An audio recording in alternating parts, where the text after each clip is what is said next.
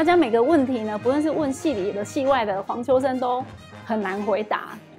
你们就觉得，秋生哥是不是我们冒犯或者怎么样？就是问问题，不论是问哎有没有很难演，他说没有很难演呐，他本来就不太好问呐。对，然后以前我们采访他的时候，大家都很怕遇到黄秋生，好不好？我跟你讲，我们以前采访有两个极端，第一个是非常怕黄秋生，另外一个其实会怕郭富城。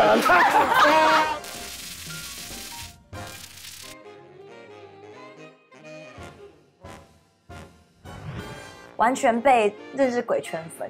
因为林柏宏在里面表现就是太，就是哎，对他他太可爱了。我觉得理论上应该是阮经天呐，他的进步、他的沉淀、他的岁月都在这个片完全的展现好的演技。但是吴康仁真的很厉害，吴康仁最后面有一场大概接近三分钟，太厉害了，而且三分钟的一镜到底的的情节其实是非常好的。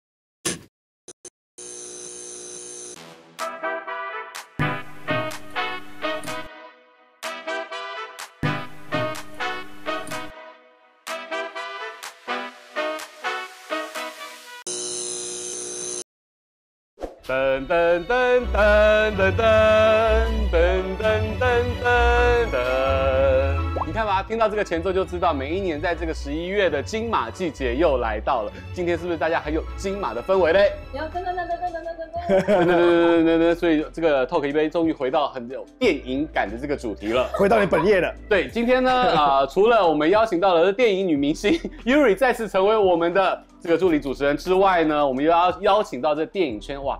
这这些年，这个评论啊，这个掷地有声，非常具有重量、跟人气、跟流量的，就是膝关节跟雀雀。耶，大家好。电影的不同的这个专业部门，不管是美术啊、灯光啊、音效啊、声音啊，它都是一个高度的专业。然后每一个这个就是专业的老师集合在一起，在现场才是影视的这个最高的殿堂。对，我觉得我第一次拍戏的时候。觉得最可怕的是什么？你知道吗？不是因为有一场戏要去蒙阿波，毛摸陈浩生的，就是重要部位。然后那时候我觉得哇，这场戏一定是太害羞了。就我到现场，我觉得不是这一场戏很可怕，是呃是那一场戏，就是你要在那么冷的天气，然后几百个人在现场，然后大家都穿的很少，然后你又要怕自己不能 NG，然后影响到所有人，然后。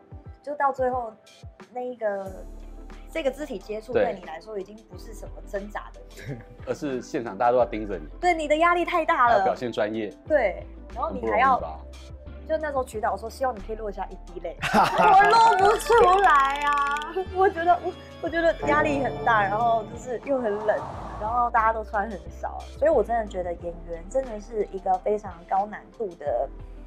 的任务，我印象比较深刻的是金马五期的时候，白灵跟李国煌因为分别入围金马影帝后的关系，也有来参加金马奖。然后那时候每一个记者会的场子，他们都把它搞得非常热，然后甚至有点失控，以至于全部的人都笑成一团。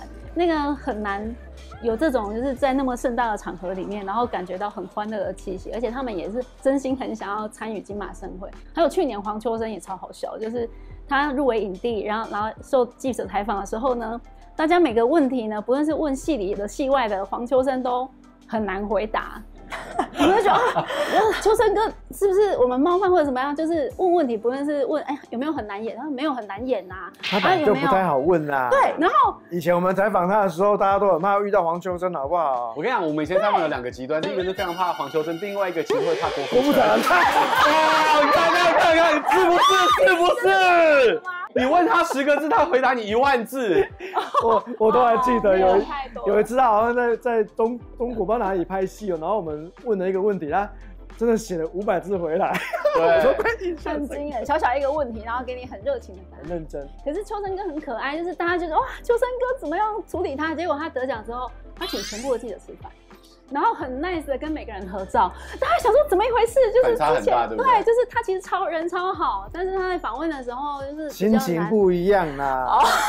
有拿奖之后就很松很多了，在没拿奖之前会有点有点盯在那个地方。这应该真的是电影奖的魔力，很多很多演员好像真的会得奖之后，哎，他好像就真的偶包放下来，或者是比较愿意看看的。因为我现在可以看到，在金马六十的这个最佳男主角入围的名单。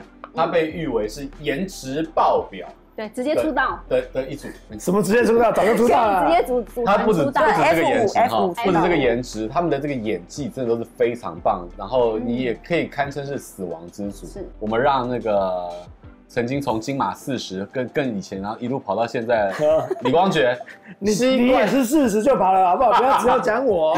我还在努力的维持视觉年龄年轻。年轻，这一组很难的，你看哦，许光汉、鬼家人、林柏宏、鬼家人、周楚除山害、阮经天，还有这个康仁的复都青年，以及这个伯杰王伯杰的义气。起，呃，刚刚韦伯其实有先讲到说入围名单公布之后有没有什么大家的亮点等等哦。其实我看到这个入围名单，我先松一口气，因为还好阮经天入围了。因为我们前面人都觉得说阮经天这个表演应该要入围，我就一看完也是就跟小天说，你这值得一定有个奖项。我就很怕没入围，你知道吗？因为因为我们不知道到底有多少其他地区的一些作品来来来来比赛嘛，所以我那时候也很怕你会不会演的那么好，你没有入围，所以他有入围，我心中的一颗大石头就放下了，我就不管他了，我就照顾我小孩去了。对，然后这一组也确实我们的朋友嘛，对，就旁白哥就直接在网络上做了一组，这五位都是没有穿衣服的照片，组成一个比基尼主图，对 对，就是组成一规定什么个 红毯上面不能穿衣服，会懂得流量密码。真的对，流量密码，大家都激动哦。对，没有错，这一组也是应该是这几年来哦，少数在金马男主角这个奖项上，五个入围者都是台湾的演员。哦，所以这也算是观众的一个参与度会比较高。本质上，至少说这几部片，台湾的观众在颁奖前至少看过，除了康仁的还没看之外，其他都看了，所以在这个项目上的讨论跟参与感，它一定会比较高。嗯特别是这个项目居然让许光汉跟林柏宏双双入围。对，其实，在之前我们就想说，请问到底谁要算男主角？理论上，就剧情的主轴应该男主角是许光汉，但是我们看完按这个片之后，都觉得说，嗯，林柏宏其实演的很好，而且他的比重也很高，嗯。所以这个片双男主角都入围，我觉得这个对于一般的观众参与本届的金马是有很高的参与度，加上这个片它大卖座嘛，哦，卖了三亿多，其实是一个很惊人的数字。今。年年度台湾的这个应该是台片票房第一名。肯定肯定是第一，而且他还有入围最佳影片的，所以我觉得啊，还有导演，我还有入围导演而，且他还代表台湾参加今年的奥斯卡最佳国际影片的代表片。两位的刚才这个介绍非常多，我等下问完怡瑞之后呢，你们就直接告诉我这个项目你们觉得谁最能得奖，没有什么公关客套了。怡瑞来这一组呢，你应该是最最有了解谁颜值啊，然后剧情啊，最想跟谁在一起啊？不不，这演戏 演戏，我想是演戏。没有，我我原本心目中的第一名就是许光汉，就是嗯他就是在我心中就是颜值在线，然后演技在线，然后就是明星演员魅力在线的一个男演员。但是呢，看完《鬼家人》这部片之后，完全被认识鬼圈粉，因为林柏宏在里面是表现就是太，就是哎，对他，他太可爱了，而且他让很多呃很温馨的情节就是更凸显出来，所以我就会觉得说这两个选谁，我都对不起他们，都对不对不起另外一个，我给大家一个就是曾经的暗示，在七月与安生的时候，那个时候啊就是周冬雨跟马思纯。真真的曾经发生过，就是双影后的一个结果。哦对对对对对，所以这个也不知道最后会怎么样。那我希望是这样耶，哎呀，好，这就是 Yuri 的这个个人意见啊。希望是这样。接下来呢嗯，我跟你讲啊，真的很难选，因为每个人都是朋友，我讲了谁就会得罪其他四个，。他们是你的朋友，不是我的朋友。好，那哎，我就把这个交给两位了。哦，没有客套，不用公关，谁你觉得这个机会最大？我觉得理论上应该是阮经天呐，因为这个案这个案子的不管是剧情上的比重，然后他自己的个人的一个演出，嗯啊、那当然这个案子的得之不易，他也确实是很成功的把周把他故事里面的陈桂林这个角色，就是比喻是周楚这个祸害啊，然后我认为这个阮经天在戏里戏外呢，他的进步、他的沉淀、他的岁月都在这个片完全的展现好的演技，所以我认为嗯是一个蛮肯定他的啦。在蒙甲之后，可能会是又是另外一个在他演员历程上面的代表作。又，一里程碑。而，且是细胞人，人又去为戏增色。对，嗯。雀雀，但因为我觉得阮今天跟吴康仁是有可比性的，因为他们两个刚好在故事里面、电影里面都刚好都有坐牢，而且都有一些都有一些什么还不能讲，对对对对。那那个东西，哎，评审放在一起就就可以可以比较哦。对，然后我就有一点评审导向，因为我们今年金马六十的评审主席是李安，然后李安在金马五十的时候，他的影帝是颁给最不演的郊游的李康生。哦，所以我就觉得，如果用这个角度来看的话，搞不好王伯杰刚好这是四组就是里面最不演的，就是最写实的。因为王伯杰他在电影里面有一点把那种 SARS 里的时候，然后封院医生在里面的一些处境，他用一个很低线的方式去把那个困境演出来。而且他后面也有跟小孩子讲电话，然后讲电话的时候，他那个真情流露的那个复杂度又很高，就是又把那种内心很压抑的东西。释放出来，然后光明感又很好。可是我就想说，哎，但是吴康仁真的很厉害。因为吴康仁最后面有一场大概接近三分钟，太厉害了，而且三分钟的一镜到底的的情节其实是非常好的。而且吴康仁他在这个故事里面有一个很特别，他在电影里面是讲说他跟他弟弟相依为命，他是一个无国界公民。然后呢，相依为命的过程里面，无国界难民的，无国界，他算是公民，因为他就是没有出生的证明，以至于他不被承认是国家的人民。然后他成长的过程里面，他都一直保护他的弟弟。然后他那个母爱发挥的超级好，就是你看吴康仁，你觉得他演一个超级超级棒的妈妈。就是就今天如果是女演员，她来演一个很棒的母亲啊，这个电影到处都有。那你叫一个男人，他演一个母亲的角色，然后演的让你就哦，全天下最棒的母亲就是那个样子，那就是吴康仁。而且那个是有脉络，就是他们小时候是被一个 LGBTQ 的变性者的男人长养大的。所以他那个母性是直接效法致敬那个男人变性者来的，所以他那个母母爱的东西超级，就是让你觉得说浑然天成，而且是有承袭他想要当一个好人，可是他过程里面就是他一直想当好人，结果最后他可能在最后好了好了，你不能讲，这个世界可能会 不是认定他就是一个 typical 的好人，所以他会有一些很纠葛的东西。真的好期待这一部，可以看一下啦，人家康仁最后那个一镜到底的戏。你要几滴眼泪都挤给你啦。对，你要多少眼泪不用挤，不用，你直接带那个一包面纸进场，应该可以用。没错，那你可以看到说一个奖项它到底要给谁，不管是从观众的角度，然后从这个我们看演员本身表现的角度，还有雀雀刚刚提到，就是说我们也要去看这个评审团评审团组成，它其中会有很多的这个变化。你看谁在那个辩论比赛会？对，有评审的过程，因为有时候那个演员好像很重视演员评审，就是例如说谢盈萱当年谁现在上他得奖的时候，就是因为巩俐她身为一个演员，她是评审，那还有通常在那个项目上会尊重那个项目那个专业的评审会拉票，对，而且还有。我觉得非常有趣的是跟大家分享，在金马五十的时候，李安导演他当评审团主席，他曾经做了一个非常重大的变革，就是在评审的过程跟讨论过程当中，直接把最佳影片在第一个。拿出来讨论跟有结果，就不晓得今年他是不是也要这么做啊？对，这真的不知道。但是因为我要跟八大家科普一下，在在五十之前，曾经有一段过程是先从小奖、技术奖开始，一路讲，然后慢慢慢慢去讨讨论到开始，再到最大奖，再留在最后。就他直接讲累了。对，可是你要想哦，从早上八九点开始一路评评到最后要去赶晚上金马奖颁奖典礼七点开始，这样还要边书画，然后边讨论最大的奖，大家可能这个体力上面、脑力上面开始耗尽了，再去讨论最大的奖项，这个判断会不会有一些影响？所以在金马五十的时候，呃，李安导演作为评审团主席才去做这样的变革，然后最后才。那一年其实一个呼声最大的是王家卫导演的《一代宗师》，是一代宗师，呼声超高。假设你从这个技术奖项开始，再到这个演演技奖项，对不对？一一路最后烘托，很有可能，很有可能最后的最佳影片会是一代宗师。嗯，可是当他这个顺序一掉的时候，哇，爸妈不在家，没关系啊，那一年宫二有拿奖。对对对对对对，宫二宫二张子怡拿到金马影后，对，所以这都是一些很多动态的变化。好，那接下来呢，就是最佳女主角入围了。菠萝凤梨胡林，本日公休陆小芬，小小林品彤，白日之下余香凝，填词碾钟雪莹。来，跟先跟大家介绍一下，因为并不是每一部片台湾的观众都非常的熟悉。在这个项目里面，就大家比较熟悉，其实只有今年三月份上映的《本日公休》。那其他几部影片，小小会在，呃，哦金马奖这个时间之后，它会在这个得奖季的关系宣传，它会去。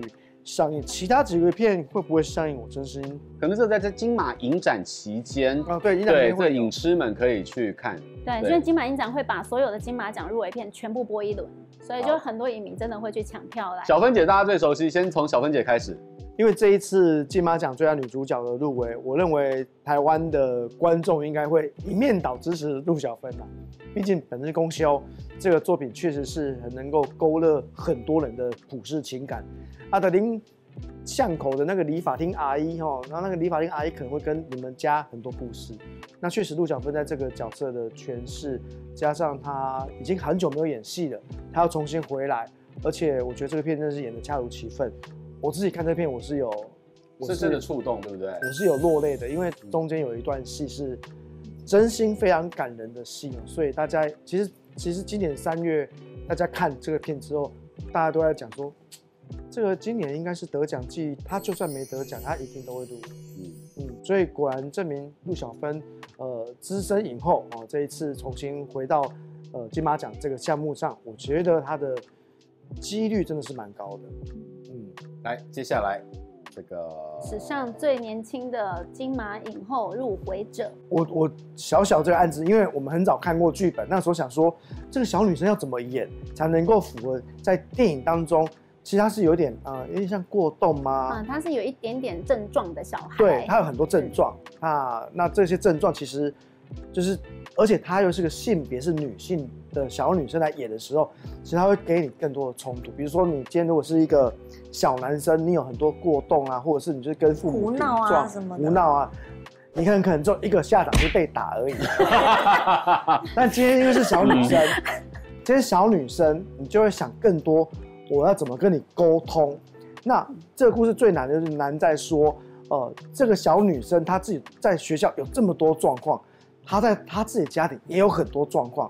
饰演他妈妈是陈意涵，对，其实那时候的一些文案啊，都会讲说。大家都会去关心这些有问题的小孩子，可是有没有人去关心过照顾这些问题小孩的家长的心声是什么？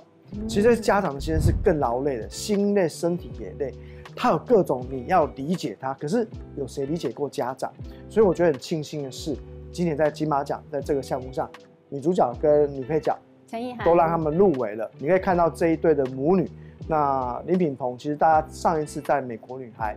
看见她演梅梅那个角色，戏份还没有那么多，但是这一次你可以完全感受到她演这个问题小妹妹，哇，那给大家的压力，给老师也一堆压力，给同学更有同才之间的相处，所以我觉得林品彤会不会是个黑马呢？OK，来，我觉得现在今年最大的竞争对手，我说小芬姐啊，应该是菠萝菠萝凤梨的这个胡玲胡玲。对，因为他在电影里面呢，有一个非常大的篇幅，也是都给他演。然后他只有像小芬姐，她有她对很多个小孩之间的关系，甚至她对她女婿都有一些互动关系。但胡玲就从头到尾就只跟她女儿，然后跟他哥哥有一些家庭的对戏。然后他过程就是讲说啊，我有一个小孩子要高考了，然后我要无所不用其极的送我小孩子到北大清华。那小孩子问题是在那个能考上就好了，不是吗？他本来是他希望可以一个很棒的学校，因为他觉得他后来变得庸庸碌碌，就是因为他没有像他哥哥一样考上一个很棒的学校。他完全讲出中国大陆因为少子化的过程，所以重男轻女的这个陋习。对，所以他就是一个有点像是台湾的 model 记，就是他得牺牲自己，不要求学，然后成就自己弟弟妹妹啊更好的学业。然后他在那个后面，他自己的小孩，他又希望小孩子成器，那小孩刚刚好。成绩不错，但是在这个地方可能考试就会在北大清华之外，就是竞争强度了。对对对，所以他就想说，好，那不如我们就去偏乡考好了。然后所以他们就产生一个考试移民的一个议题，他就带着他的小孩子啊跑啊跑去很偏偏僻的地方考试。然后结果呢？其实不能算偏僻吧，海南岛不算偏僻吧？他是他名额比较比较容易可能就是竞争强度。没那么高，没那么高，他没有，就是录取率的关系，他就是有被保证说，哎，你的小孩去那边考，那个分数应该是稳特懂，哎，就是一定可以上。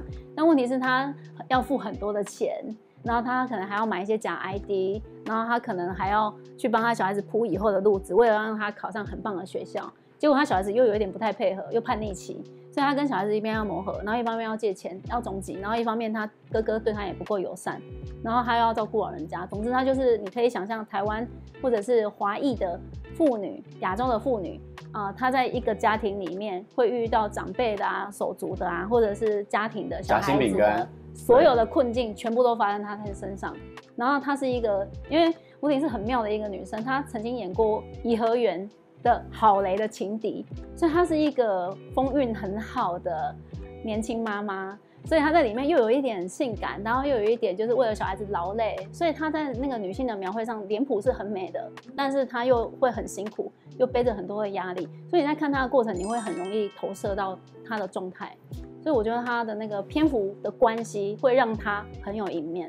就主戏上来说啊，胡林应该会是小芬姐的一个最大的一个最大的对手。当然，我们看看林品彤会不会是黑马啊？对，因为林品彤戏也蛮多的。嗯，而且就是在这一这一个项目，你会发现这个年龄的跨度，竞争者的这个年纪有极度的这个年轻，还有还有长辈，这个差距还蛮大的。那这中间的这个就是不同世代的演员所展现出来的。这个成果就会不一样，而且有不同的时代的生命困境，对，会去被描述跟诠释，所以这真的很难比啊，要辛苦评审。品彤，你看他的这个演技，其实我们在讲说小孩子到底是本色演出，或者是演技到入木三分，这也是评审会讨论的，是你是演到精，还是你是维持你原本的那个很色啊？因为小孩子都是本色，这个也考验着评审他们的讨论跟这个界限。因为很多人都觉得品彤那个不是本色。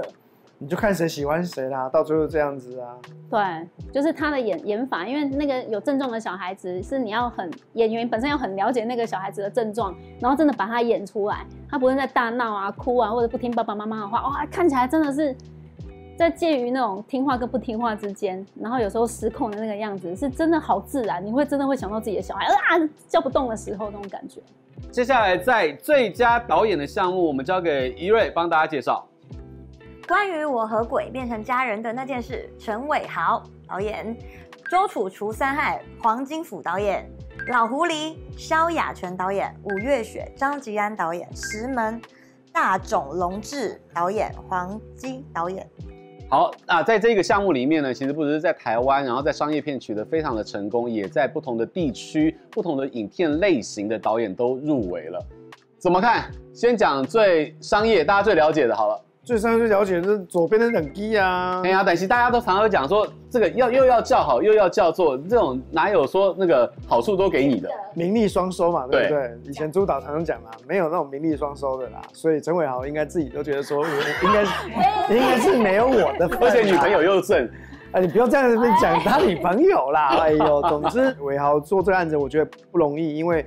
呃，喜剧不好拍，大家也都知道。那韦豪自己在做这个片的时候，他自己还是自己做海报设计，大家也知道。然后他也喜欢做故事里面的这些特效啦、分镜啊，他其实对于掌握度这一点确实是很高的。那当然，你说商业片来讲的话，今年上映的秋天上映的《周楚除三害》。黄金虎导演，他是一个从香港来台湾做合作的这个案子，我认为大家也都曾看到，在故事里面完全拍出一个不同的动作片的风格，所以这两个作品应该是现阶段观众是比较熟悉的，后面才会有像老狐狸跟五月雪过来跟大家见面。那你自己有喜欢？我自己是因为我之前看过黄继导演的所有电影，然后他有一个女性成长三部片，全部都是他的女主角姚红贵来演。所以你就会觉得，哦，这种中国导演，然后他后来跟日本导演在一起，然后专门在关注，嗯，中国的偏乡的小孩那个议题，有一点像是《爱在三部曲》，就是女主角都一样，然后那个都是很关注同样的议题的东西。但是它会进化。对，从二零一二年开始拍，然后呃，《鸡蛋与石头》，然后二零一五、一七、一七拍《笨鸟》，然后到现在二二二三年，就是每五年拍一部片。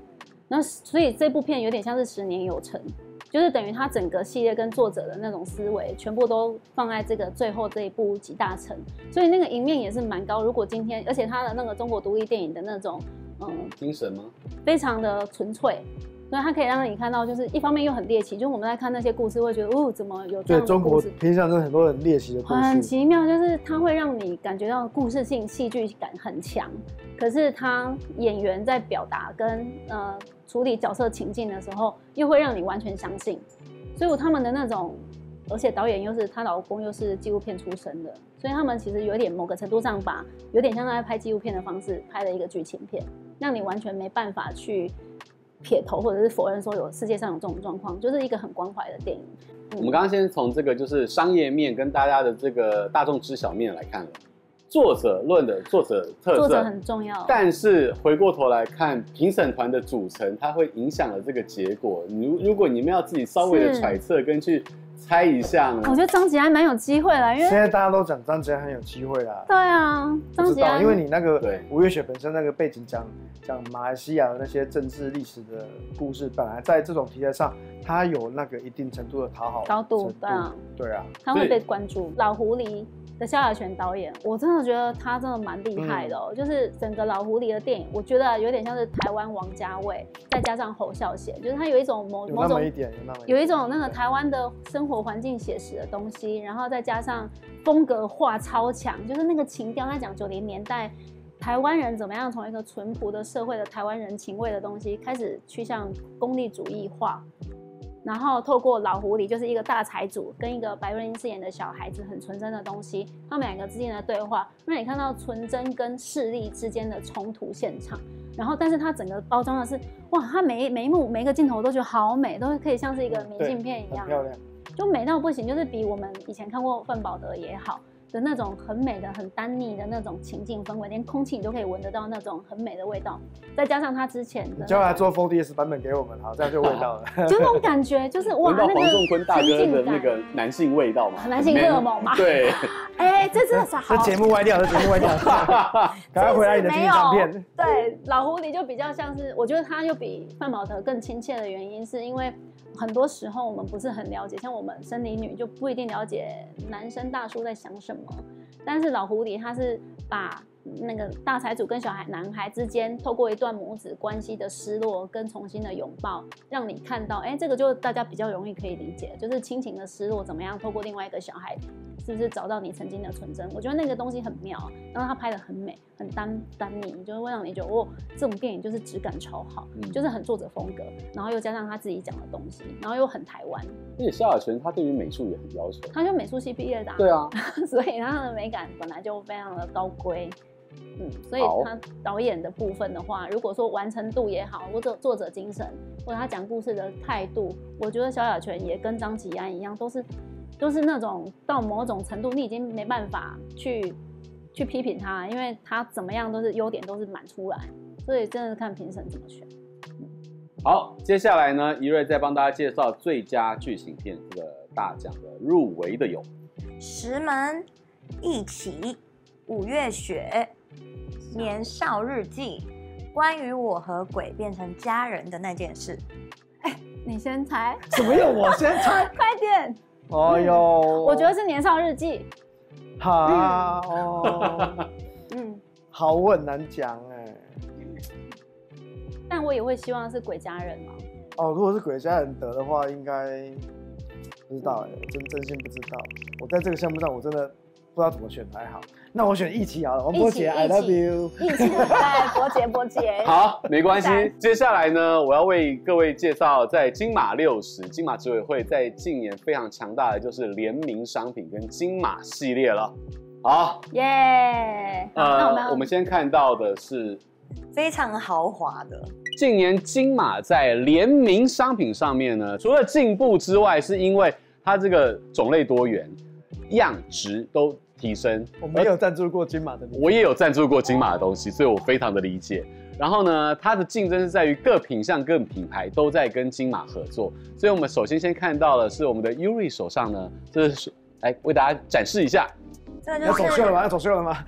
波特包，是不是觉得很时尚呢？是不是觉得看起来很会演戏？你要赶快跟那个选角指导，选我，选我。对，女演员背上之后是不是看起来特别会演戏呢？Casting 看过来，请选我，希望背了，选我。对，背了之后呢，就会跟金马更有缘分。好了，除此之外呢，如果你睡了这一个枕头，谢谢韦伯哥。好的，除此之外呢，睡了这颗金枕之后呢，你也会跟金马越来越有缘分，演技直接大力飙升。祝你发梦成功，先睡好梦，对不对？好了，起来喽，起来喽，真的真的很好躺，很好抢。借我看，就我看，就我看。看起来很有弹性。对啊，因为过去其实金马奖还有奖金制度的时候啊，是你假设你影后得奖者，你就可以拿到十万块钱奖金。哦。但现在已经取消奖金资格了。但是你只要入围，你只要入围的话，你就有全部的礼包，大概三十几项，然后一共价值十万。要开一台车来载。对，就已经你已经不用得奖才有那十万了，就等于就是你金马礼包就有等于那个价值的东西。哦，但是因为每一个都非常的豪华，哎。而且多样，对啊，你看连大同电锅，哎，这已经是雀妈？哎，雀雀，我现在是捧起来它，这个有点重哦，这个是跟金马讲座一样重。金马联名商品在当代的第一个里程碑呢，除了就是电风扇之外呢，就是电锅了。那今年呢，我雀雀手上为大家演示的这个金马电锅，有别于过去的这个马是属于这个镀金的的这个颜色，今年是属于另外一种浮水印式的，对。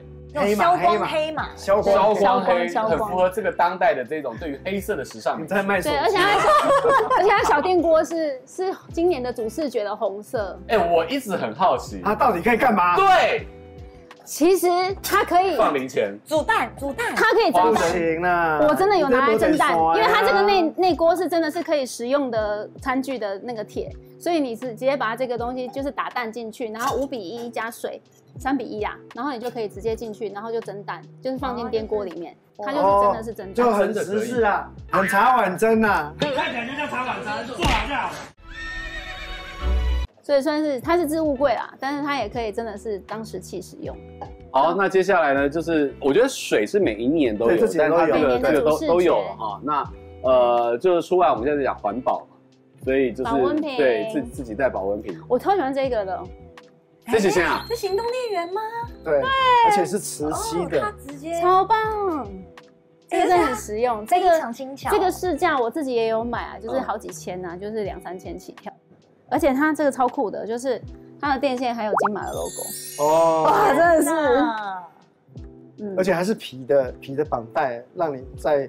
收纳起来的时候，觉得有金马的。因为我觉得我们专业影评其实可以当那个开直播电商哎，他们两个很有才哎，线上带货对，线上如果下面加一哈，哎呀，导播我们现在已经卖完了，一千组、两千组热销完毕。我觉得这非常有质感，因为这个太实用了啦。对，这个这个真的太实用了。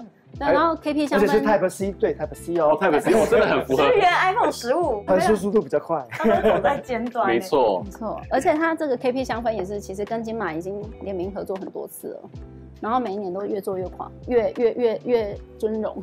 对，就越来越厉害。这是香氛，然后这是它的，而且也是搭配主视觉，然后这是它的香氛组。真的，我金马的周边商品，真的食衣住行娱乐很多方方面面都有顾及到，哎。嗯，就是很好用啊，就是收到礼物会开心的感觉。所以呢，在此我们是要诚挚的祝福 Yuri 早日的入围。对，我噔噔噔噔噔，上台了，上台了。不是不是，先先先先给我一个角色好不好？在之前先给我一个角色。好，所以我现在开放具备最佳新人的资格哦。真的吗？还有吗？因为因为你现在的那个客栈是算是客串，然后戏份算小，演出而已。对，就像那个春风在海陆也是有演，但是他现在还是新。你为什么要给他这么大的那个压力？是？对，他都已经睡过这个枕头了，也拿过那个包包了，他拿过金马的东西，有机会了吧？加持。所以各位导演们。就是现在缺的是一个角色的名字，谢谢你们了。一个角色的名字，以后他就不叫 Yuri 了哦，以后就叫一个 女演员陈怡瑞。OK OK，入围的有陈怡瑞。好，我会我会继续做这个梦，然后朝这里迈进。但我觉得真的是金马的季节，就是真的是喜爱电影人在这个光辉的十月、十一月一个非常棒的这个时刻啦。对，那也希望今天呢，透过我们现场来宾跟专业的影评为大家解析，大家对于这个入围名单有更深刻的理解，然后对于这个好吃好玩又好拿的金马礼品，大家也能够去好好的关注一下，也可以捧场一下，对，对不对？再次感谢膝关节还有雀雀今天来来到我们的节目，也谢谢 Yuri，谢谢你们，好，也谢谢所有观众朋友的收看，光辉的金马，好好关注。二十五号金马颁奖典礼，OK，拜拜。